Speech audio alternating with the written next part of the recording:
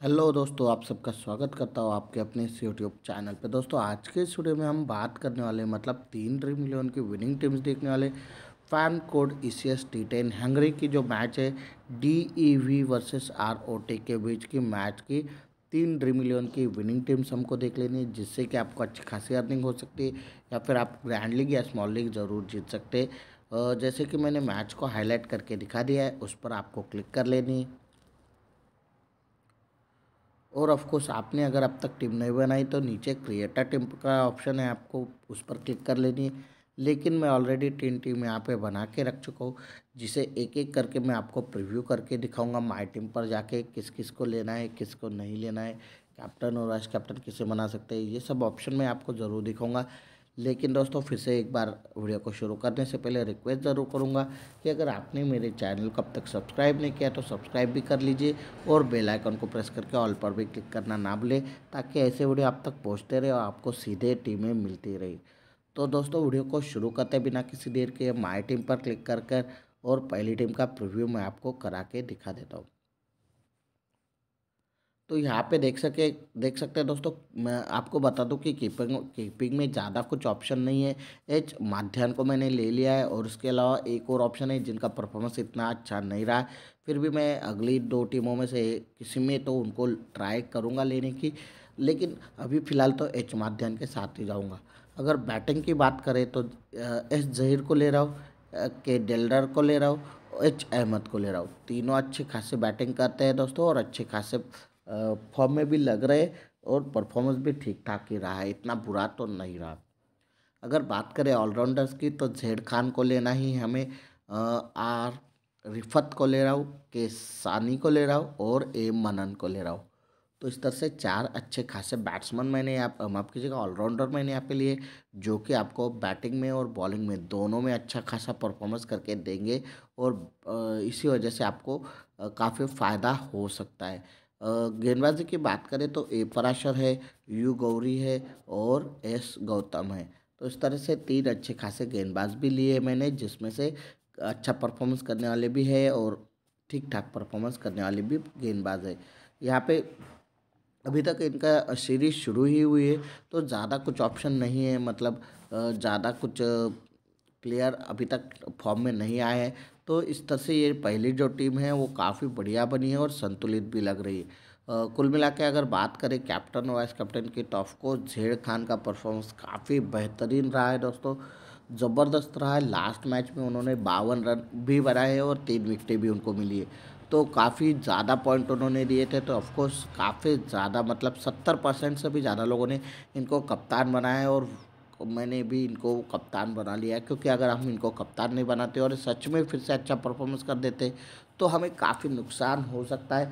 तो इसीलिए first team में मैं कोई चांस नहीं लेना था, चाहता था। और एस जैर को भी काफ़ी ज़्यादा थर्टी वन परसेंट लोगों ने वाइस कैप्टन बनाया तो मैं उनके साथ भी वाइस कैप्टन के लिए भी जाऊँगा। वही रीज़न है दोस्तों, ज़्यादा परसेंटेज मिले तो हो सकता है सच में ही अच्छा परफॉर्मेंस कर दे और हमें नुकसान ना हो, इसलिए पहली टीम में सेफ़ गेम खेलता हूँ। तो इसीलिए ये टीम हमारी अच्छी खासी बन चुकी है। ऑफकोर्स मैं सजेस्ट करूँगा इस टीम को ग्रैंड लीग और स्मॉल लीग दोनों के लिए आप यूज़ कर सकते हैं। ऐसा नहीं कि एक ही लीग के लिए यूज़ करेंगे। दोनों लीग यहाँ पे लगा सकते हैं। मतलब एक एक लीग भी लगा सकते हैं, एक एक ग्रैंड लीग और एक स्मॉल लीग भी लगा सकते हैं। कोई प्रॉब्लम नहीं है दोस्तों। तो कुल मिला के एक अच्छे खासे टीम बन चुके हैं और कैप्टन और वाइस कैप्टन भी अच्छे खासे सेट हो चुके हैं। तो अब चलते हैं दूसरी टीम पर। तो इसे हमें क्लोज करना होगा। अगर देखिए तो यहाँ पे मेरे पास दो कीपर मैंने ऑलरेडी बता दिया था।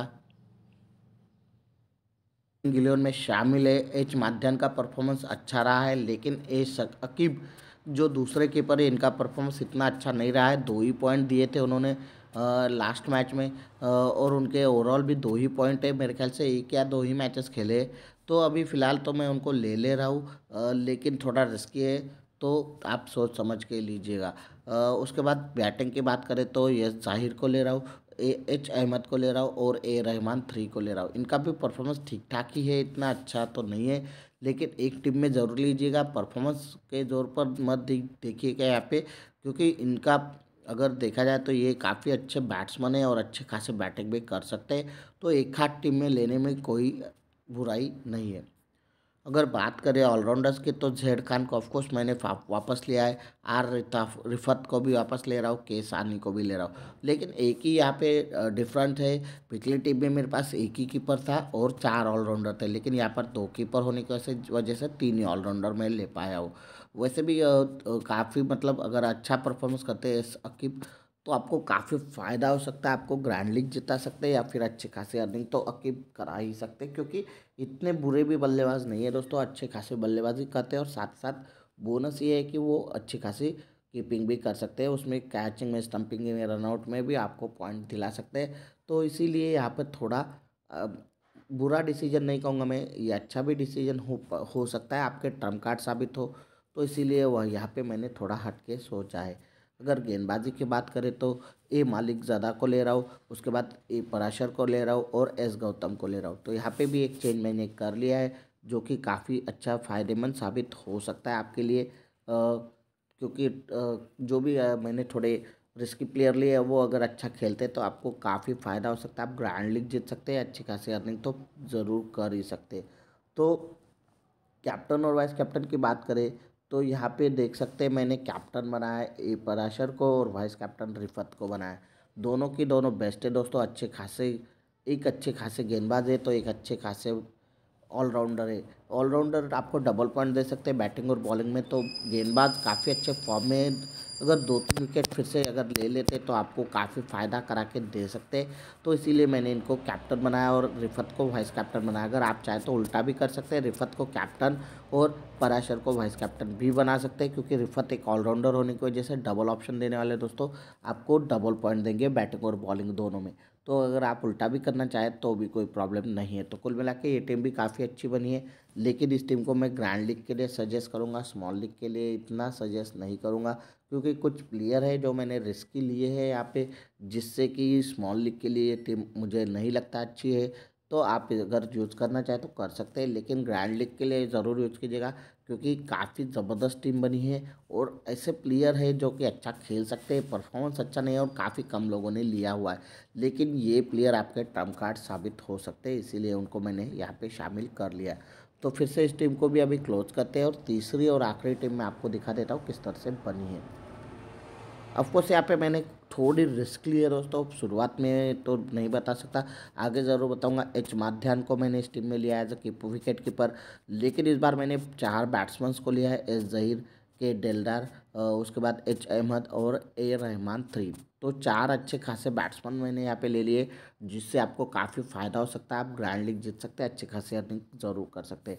यहाँ पे अब मैं बताने की मतलब टाइम आ गया है कि मैंने यहाँ पे जेड खान को ड्रॉप किया है। जी हाँ दोस्तों, जिनका परफॉर्मेंस लास्ट मैच में काफ़ी ज़बरदस्त रहा है, उनको मैंने ड्रॉप किया है। मुझे लगता है ये आज हो सकता है कि ये फेल हो जाए और अगर ये आज फेल होते हैं और मैंने यहाँ पे उनको ड्रॉप किया है तो आपको काफ़ी ज़्यादा फ़ायदा होगा दोस्तों।